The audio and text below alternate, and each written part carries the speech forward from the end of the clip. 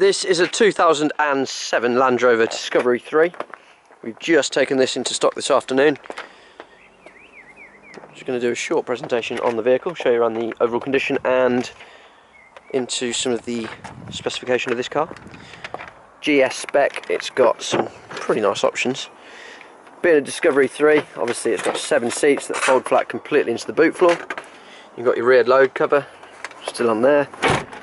This car's got rear parking sensors, finished in this beautiful metallic blue, like a midnight blue. Rear privacy glass into the back. You've got three proper seats, three sunroofs with pull across um, nets. Ventilation in the back for the rear passengers.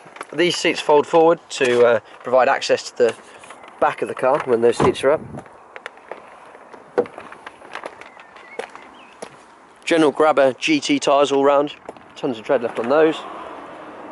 It's a one owner vehicle, it's got two keys, six service stamps in the booklet.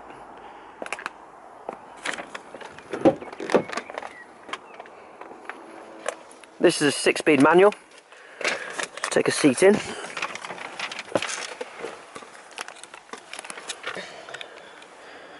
Blade key, flip that up.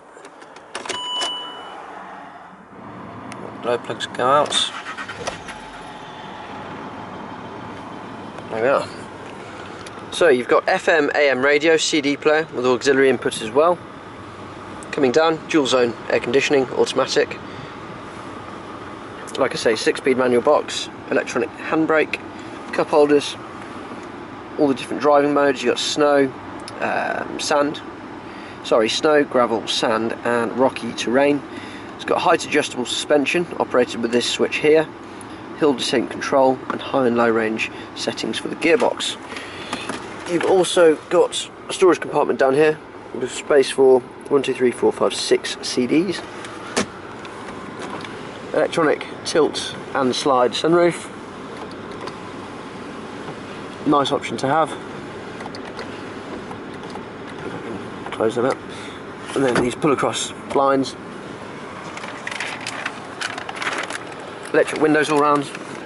It's got electronically adjustable door mirrors, alloy wheels, auxiliary heater.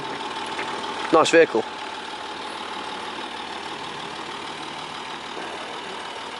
This car is up for £8,990, done 119,000 miles.